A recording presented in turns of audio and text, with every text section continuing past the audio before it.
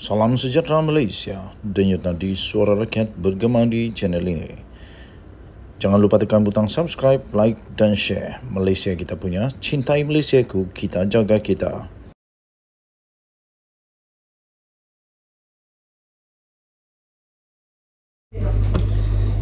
Salam sejahtera Malaysia. Denyut nadi suara rakyat bergema di channel ini. Tuan-tuan dan puan-puan yang dihormati sekalian, akhirnya Seri Paduka Baginda yang di Pertuan Agong telah pun melakukan uh, kebiasaannya yang akan dilakukan oleh Baginda Agung. Tuan-tuan dan puan-puan yang dihormati sekalian, Agung telah mengurniakan darjah kebesaran kepada Ane N. Ane pula. N. Ngasri yang di Pertuan Agong Al-Sultan Abdullah Riayatuddin Al-Mustafa Bila Shah berkenan mengurniakan darjah kebesaran kepada selebriti iaitu N. Ngasri dalam istiadat pengundian darjah kebesaran bintang dan pingat persekutuan di, Istana Negara semalam. N yang juga adalah exco wanita AMNO telah menerima darjah kesatria Mangku Negara. Bersyukur dengan kurniaan tersebut, N tekad berazam untuk terus mencurahkan keringatnya demi negara. Katanya 2 Muharram 1445 Hijrah bersamaan 20 Julai 2023. Syukur dengan izin dan limpah kurnianya Semoga Allah Subhanahu Wa Taala merahmati pemerintahan ke bawah duli yang maha mulia tuanku yang memayungi seluruh rakyat kata beliau. Beliau juga berkata, patik menjunjung kasih dan kurnia serta terus bekerja keras menabur bakti demi negara, agama, bangsa dan negara yang tercinta kongsinya. Sebelum beralih ke pentas politik, pemilik nama asal Nasria Ngasri itu pernah dikenali kerana membintangi sitkom popular Cili Padi di TV3. Dengan tampil menggayakan baju kurung hijau, N hadir bersama kakaknya Darling yang berkongsi beberapa imej mereka berdua sekitar istiadat yang berlangsung di Istana Negara.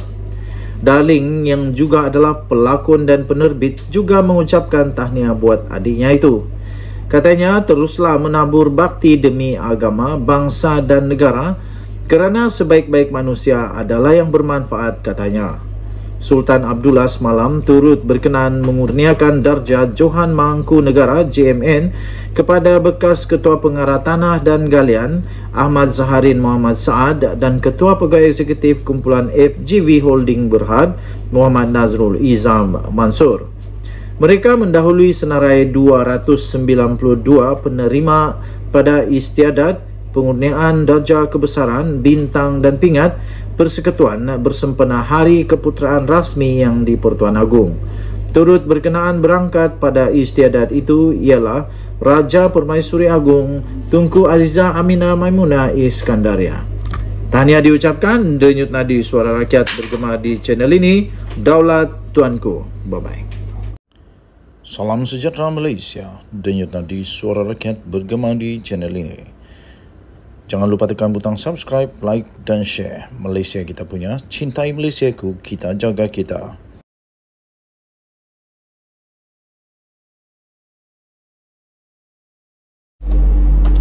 Salam sejahtera Malaysia. Sah Sanusi disiasat lagi. Setelah dia didakwa dengan dua pertuduhan secara berasingan di Mahkamah Session. Pertama menghina Sultan Selangor. Kedua mempersoalkan Agung. Kedua-duanya atas bawah Akta Hasutan. Kali ini dia pula disiasat kerana penyelewengan dan salah guna kuasa. Disahkan sendiri oleh Ketua Pesuruhjaya SPRM Azam Baki. Habislah Sanusi. Kali ini memang pening kepala. Pening habis. Baru saja diterbitkan Baru saja diterima sebentar tadi Anda share video ini Supaya seluruh Malaysia tahu. Ha, Jangan main-main dengan kuasa. Jangan main-main dengan kuasa yang diberikan. Jangan menyeleweng. Jangan salah guna kuasa. Nanti sendiri yang menyesal. Isu REE Menteri Besar Kedah pun akan dipanggil. Itu kata SPRM Suruhanjaya Pencegahan Rasuah Malaysia sudah pun merakamkan 12 individu bagi membantu siasatan untuk kes rasuah lebih 13 juta ringgit serta salah guna kuasa membabitkan isu perlombongan unsur nadir bumi REE di Kedah. Ketua Pesuruhjaya SPRM sendiri iaitu Azam Baki berkata, kesemua individu yang dipanggil setakat ini dari Perbanda, Perbadanan Menteri Besar MBI Kedah dan syarikat swasta yang dikatakan terlibat dengan perlombongan REE tersebut. Katanya dalam kenyataan itu setakat ini masih belum ada orang politik yang dipanggil untuk memberi keterangan.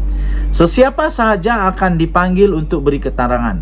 Mana yang difikirkan perlu, mungkin cepat atau lambat sahaja. Nak siasat bukan boleh terjah-jah, katanya. Kena buat pengesahan dan panggil saksi berkenaan. Kena pastikan hal berkaitan prosedur untuk luluskan pengeluaran REE. Ini dia pengumuman kenyataan rasmi daripada SPRM. Dia kata, Menteri Besar Datuk Seri Muhammad Sanusi Madnor pun akan dipanggil. Sebab dia yang sain surat yang tular. Hahaha, ini kalilah. Memanglah tidak terlibat mungkin tapi dia yang sain. Kalau dia yang sain, dia yang sahkan, dia yang luluskan. Macam mana pula tak terlibat kalau dia yang luluskan? Ah, yang paling berkuasa bukan yang bercakap, tetapi yang menandatangan surat. Ah, sekali lagi saya ulang. Menteri Besar Datuk Seri Muhammad Sanusi Mat Nor pun akan dipanggil sebab kenapa? Sebab dia yang sain surat yang tular itu. Siapa yang sain? Muhammad Sanusi Mat Nor. Bukan orang lain. Bukan Anwar, bukan Muhyiddin, bukan Mahathir, bukan Hadiawang, Sanusi yang tanda tangan surat yang tular itu kata Azam Baki. Beliau berkata demikian selepas satu program Cakna Rasuah SPRM bersama media Zon Timur di Kuala Nerus, Terengganu hari ini. Azam Baki berkata SPRM juga sedang mengesan beberapa saksi lagi dari China yang dikatakan membuat pelaburan dalam perombongan REE tersebut untuk turut membantu siasatan. Pegawai penyiasat sedang menyiasat kesan saksi dari luar negara katanya. Denyo Nadi Suara Rakyat bergema di channel ini. Bye-bye. Salam sejahtera Malaysia. Habislah Sanusi kali ini. Ha, ini dia.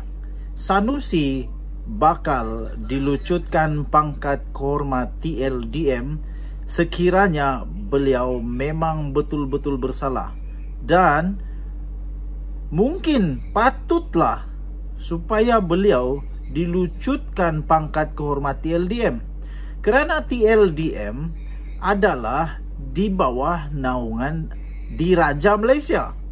Sekarang ini kita ketahui bahawa Sanusi sudah pun berada dalam keadaan yang parah amat parah kerana didakwa buat kali pertamanya ha, orang-orang politik besar di Malaysia didakwa menghina sultan. Akhirnya Menteri Dalam Negeri, Menteri Kementerian Dalam Negeri Saifuddin Nasution Ismail sorkan supaya lucut pangkat kehormat TLDM pada Sanusi. Sekiranya anda setuju, anda boleh tinggalkan komen. Saya setuju, lucutkan pangkat kehormat TLDM Sanusi. Ha, saya sendiri kalau ditanya, saya setuju. Kenapa? Kerana beliau sudah uh, melepasi had, sudah melepasi limit yang sebenarnya boleh diguna pakai ketika berkempen oleh mana-mana orang politik di Malaysia. Dia sudah melebihi had. Ah, Setiausaha Agung BKR Saifuddin Nasution Ismail mencadangkan supaya penarikan balik menarik balik gelaran laksamana pertama kehormat pasukan simpanan sukarela Tentera Laut Diraja Malaysia TLDM yang telah diberikan kepada Muhammad Sanusi Madnor.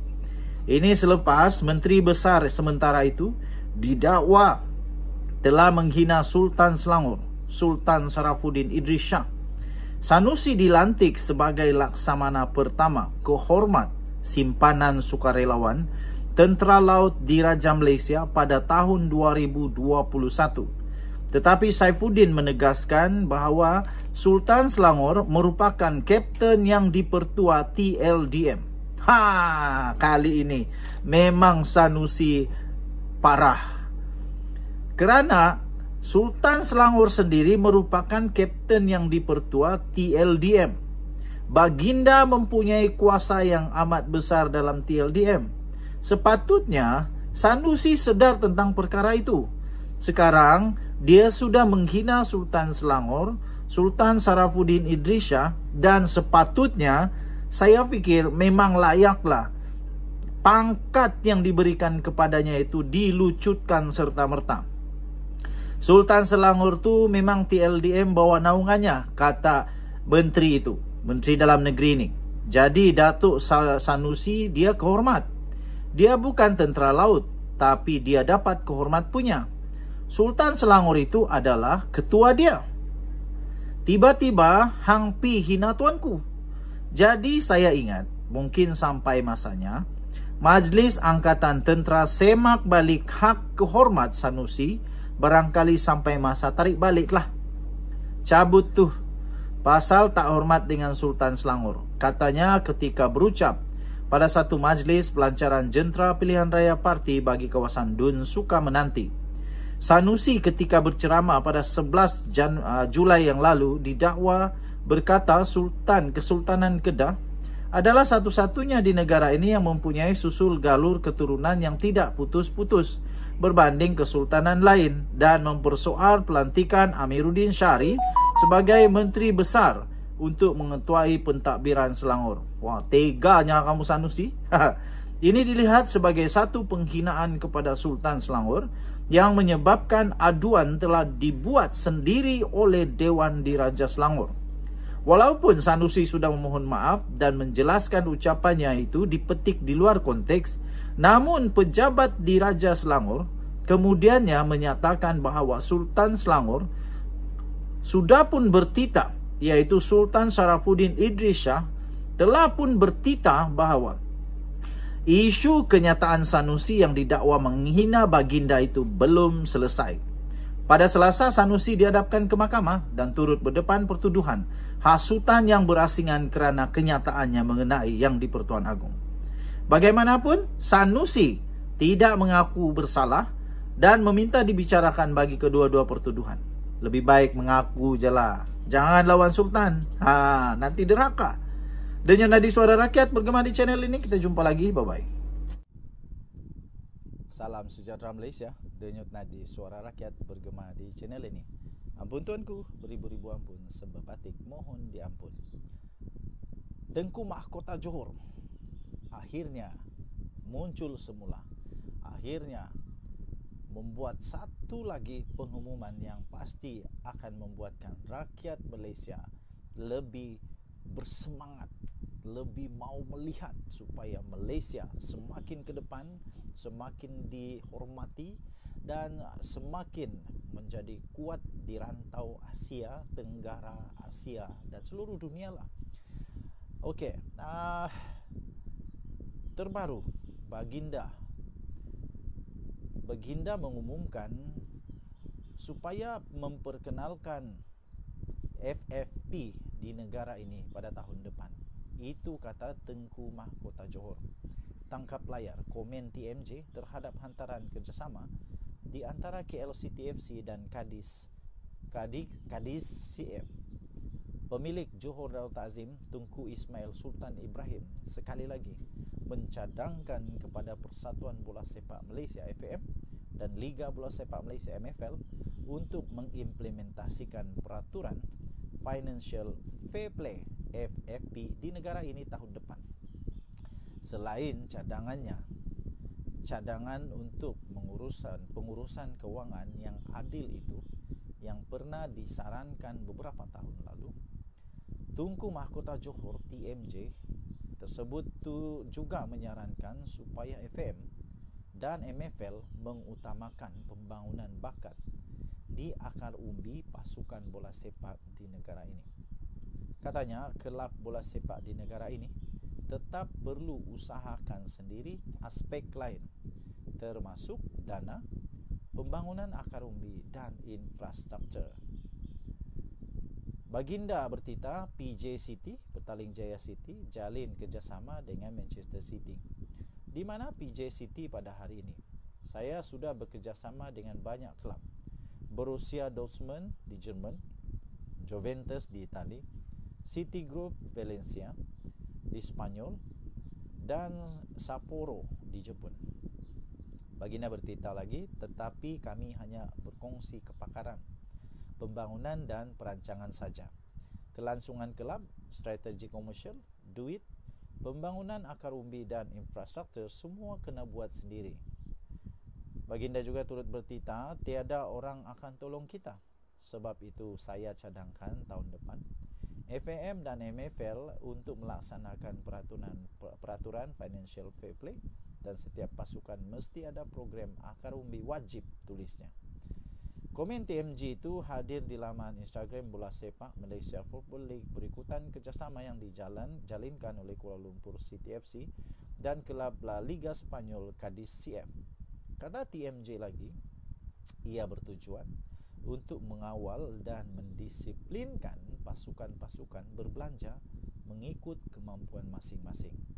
Baginda bertita, jadi tiada lebihan perbelanjaan dan tak bayar gaji pemain. Demi kelab untuk bertahan lama, kerana tak semua kelab ada keistimewaan sapu duit kerajaan setiap tahun. Tulisnya lagi. Denyut nadi suara rakyat bergema di channel ini. Setiap kali Tengku Mahkota Johor bersuara, saya excited. Setiap kali Tengku Mahkota Johor buat satu cadangan, saya sangat terasa kagum respect dengan pandangan jauh daripada Tengku Mahkota Johor ini. Kita berharap seluruh pasukan bola sepak Malaysia akan menjadi seperti JDT satu hari nanti yang sangat-sangat maju. Kita jumpa lagi. Bye-bye. Salam sejahtera Malaysia. Denyut nadi suara rakyat bergema di channel ini. Jangan lupa tekan butang subscribe, like dan share. Malaysia kita punya. Cintai Malaysia ku, kita jaga kita.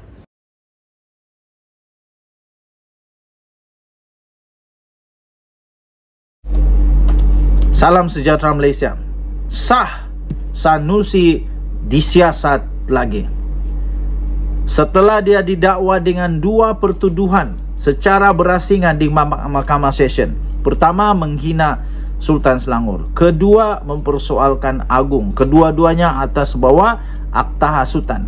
Kali ini dia pula disiasat kerana penyelewengan dan salah guna kuasa. Disahkan sendiri oleh Ketua Pesuruhjaya SPRM Azam Baki. Habislah Sanusi. Kali ini memang pening kepala. Pening habis. Baru saja diterbitkan. Baru saja diterima sebentar tadi. Anda share video ini supaya seluruh Malaysia tahu. Ha, jangan main-main dengan kuasa. Jangan main-main dengan kuasa yang diberikan. Jangan menyeleweng. Jangan salah guna kuasa. Nanti sendiri yang menyesal. Isu REE, Menteri Besar Kedah pun akan dipanggil. Itu kata SPRM. Suruhanjaya Pencegahan Rasuah Malaysia sudah pun merakamkan 12 individu bagi membantu siasatan untuk kes rasuah lebih 13 juta ringgit serta salah guna kuasa membabitkan isu perlombongan unsur nadir bumi REE di Kedah. Ketua Pesuruhjaya SPRM sendiri iaitu Azam Baki berkata, kesemua individu yang dipanggil setakat ini dari Perbanda, Perbadanan Menteri Besar MBI Kedah dan syarikat swasta yang dikatakan terlibat dengan perlombongan REE tersebut. Katanya dalam kenyataan itu setakat ini masih belum ada orang politik yang dipanggil untuk memberi keterangan. Sesiapa sahaja akan dipanggil untuk beri keterangan. Mana yang difikirkan perlu? Mungkin cepat atau lambat sahaja. Nak siasat bukan boleh terjah-jah, katanya. Kena buat pengesahan dan panggil saksi berkenaan. Kena pastikan hal berkaitan prosedur untuk luluskan pengeluaran RII. Ini dia pengumuman kenyataan rasmi daripada SPRM. Dia kata, Menteri Besar Datuk Seri Muhammad Sanusi Madnor pun akan dipanggil. Sebab dia yang sain surat yang tular. Hahaha, ini kalilah. Memanglah tidak terlibat mungkin tapi dia yang sain. Kalau dia yang sain, dia yang sahkan, dia yang luluskan. Macam mana pula tak terlibat kalau dia yang luluskan? Ah, yang paling berkuasa bukan yang bercakap, tetapi yang menandatangan surat. Ah, sekali lagi saya ulang. Menteri Besar Datuk Seri Muhammad Sanusi Mat Nor pun akan dipanggil. Sebab kenapa? Sebab dia yang sain surat yang tular itu. Siapa yang sain? Muhammad Sanusi Mat Nor. Bukan orang lain. Bukan Anwar, bukan Muhyiddin, bukan Mahathir, bukan Hadiawang. Sanusi yang tanda tangan surat yang tular itu kata Azam Baki. Beliau berkata demikian selepas satu program Cakna Rasua SPRM bersama media Zon Timur di Kuala Nerus, Terengganu hari ini. Azam Baki berkata SPRM juga sedang mengesan beberapa saksi lagi dari China yang dikatakan membuat pelaburan dalam perombongan RII tersebut untuk turut membantu siasatan. Pegawai penyiasat sedang menyiasat kesan saksi dari luar negara katanya. Denyo Nadi Suara Rakyat bergema di channel ini. Bye-bye. Salam sejahtera Malaysia. Habislah Sanusi kali ini. Ha, ini dia. Sanusi bakal dilucutkan pangkat kehormat TLDM sekiranya beliau memang betul-betul bersalah. Dan mungkin patutlah supaya beliau dilucutkan pangkat kehormat TLDM kerana TLDM adalah di bawah naungan Diraja Malaysia. Sekarang ini kita ketahui bahawa Sanusi sudah pun berada dalam keadaan yang parah amat parah kerana didakwa buat kali pertamanya ha, orang-orang politik besar di Malaysia didakwa menghina Sultan. Akhirnya Menteri Dalam Negeri, Menteri Kementerian Dalam Negeri Saifuddin Nasution Ismail sorkan supaya lucut pangkat kehormat TLDM pada Sanusi.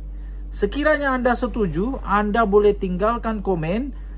Saya setuju lucutkan pangkat kehormat TLDM Sanusi. Ha, saya sendiri, kalau ditanya, saya setuju. Kenapa? Kerana beliau sudah uh, melepasi had sudah melepasi limit yang sebenarnya boleh digunakan pakai ketika berkempen oleh mana-mana orang politik di Malaysia.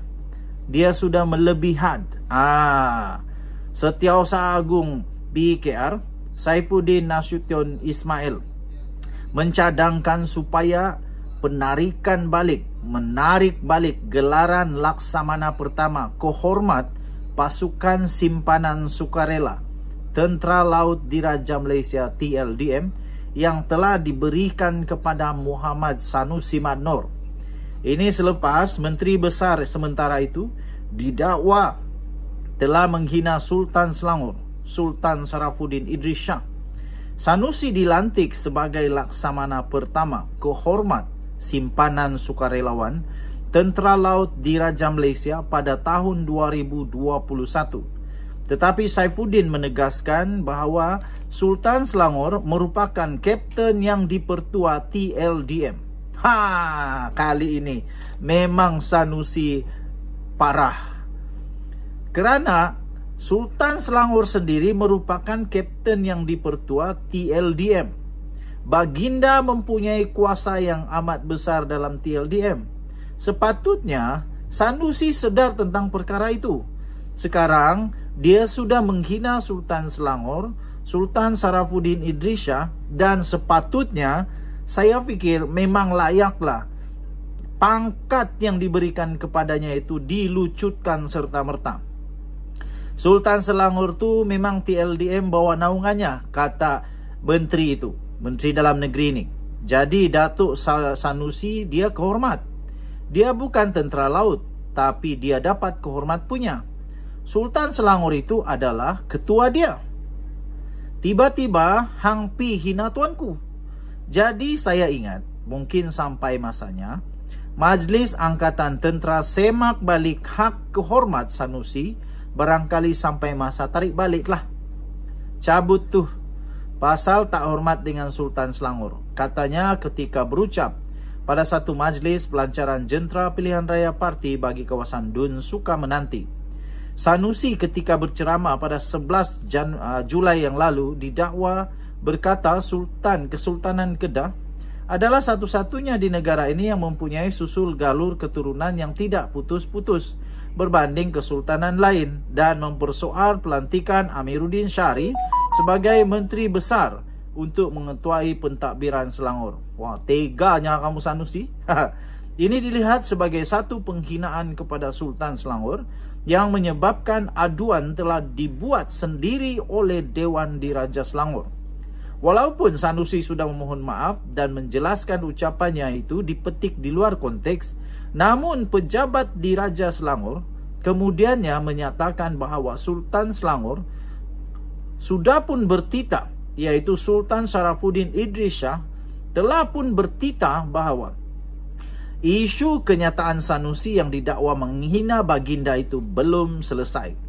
Pada Selasa, Sanusi dihadapkan ke mahkamah dan turut berdepan pertuduhan hasutan yang berasingan kerana kenyataannya mengenai yang di Pertuan Agong. Bagaimanapun, Sanusi tidak mengaku bersalah dan meminta dibicarakan bagi kedua-dua pertuduhan. Lebih baik mengaku je lah. Jangan lawan Sultan. Ha, nanti deraka. Dengan nadi suara rakyat bergema di channel ini. Kita jumpa lagi. Bye-bye. Salam sejahtera Malaysia. Denyut nadi suara rakyat bergema di channel ini. Ampun tuanku, beribu-ribu ampun sebab batik mohon diampun. Tengku Mahkota Johor akhirnya muncul semula. Akhirnya membuat satu lagi pengumuman yang pasti akan membuatkan rakyat Malaysia lebih bersemangat lebih mau melihat supaya Malaysia semakin ke depan, semakin dihormati dan semakin menjadi kuat di rantau Asia, Tenggara, Asia dan seluruh dunia lah. Okey, uh, terbaru Baginda Baginda mengumumkan supaya memperkenalkan FFP di negara ini pada tahun depan. Itu kata Tengku Mahkota Johor. Tangkap layar komen TMJ terhadap hantaran kerjasama di antara KLCTFC dan Kadis Kadis, Kadis CF. Pemilik Johor Darul Ta'zim Tungku Ismail Sultan Ibrahim sekali lagi mencadangkan kepada Persatuan Bola Sepak Malaysia FAM dan Liga Bola Sepak Malaysia MFL untuk mengimplementasikan peraturan Financial Fair Play FFP di negara ini tahun depan. Selain cadangannya, cadangan untuk mengurusan pengurusan keuangan yang adil itu yang pernah disarankan beberapa tahun lalu, Tunku Mahkota Johor TMJ tersebut tu juga menyarankan supaya FM dan MFL mengutamakan pembangunan bakat di akar umbi pasukan bola sepak di negara ini. Katanya, kelab bola sepak di negara ini tetap perlu usahakan sendiri aspek lain termasuk dana, pembangunan akar umbi dan infrastruktur. Baginda bertita PJ City, Petaling Jaya City, jalin kerjasama dengan Manchester City. Di mana PJ City pada hari ini? Saya sudah bekerjasama dengan banyak kelab Borussia Dortmund di Jerman, Juventus di Itali, City Group Valencia di Spanyol dan Sapporo di Jepun. Baginda bertitah lagi, tetapi kami hanya berkongsi kepakaran, pembangunan dan perancangan saja. Kelangsungan kelab, strategi komersial, duit, Pembangunan akar umbi dan infrastruktur semua kena buat sendiri. Baginda juga turut bertita, tiada orang akan tolong kita.